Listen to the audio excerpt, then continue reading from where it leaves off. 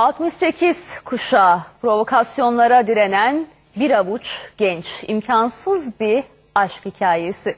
TRT1'in ilgiyle takip edilen dizisi Sevda Kuş'un kanadında yeni sezonda da iddialı dizinin yeni bölümlerinde 15 Temmuz darbe girişimine giden süreç ve ihanet yapılanmasının iç yüzü de anlatılacak.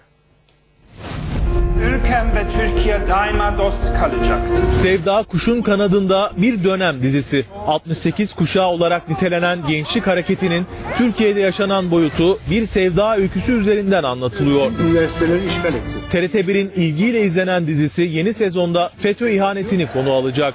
Dizinin yeni bölümlerinde 15 Temmuz darbe girişimine giden süreç ve ihanet yapılanmasıyla ilgili çarpıcı detaylar da gözler önüne serilecek. 1970'lere baktığımızda FETÖ'nün ta o zamanlar 40 yıl önce diyoruz ya e, o zamanlar işin içerisine girdiğini e, görüyorsunuz. Tabii biz onlara da dikkat çekeceğiz, altını çizeceğiz. Savunun hakimler. Ünlü bela geliyor. 15 Temmuz hala bir kelime e, bulmakta güçleniyor, güçlük çekiyorum. Yani yapılanın yapılanı anlatmak için gerçekten Türkçe mealler okudum, dört kitaba baktım, geriye döndüm, sözlüklere baktım. Yapılanı anlatamıyorsunuz. Çok büyük hainlik. Üzücü.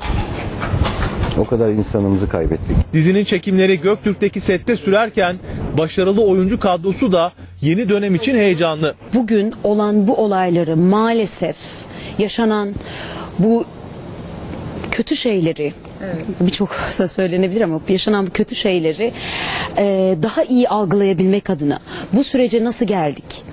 E, işler buralara nasıl taşındı?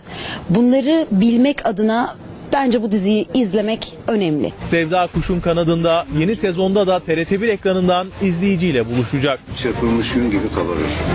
Sevda kuşun kanadında.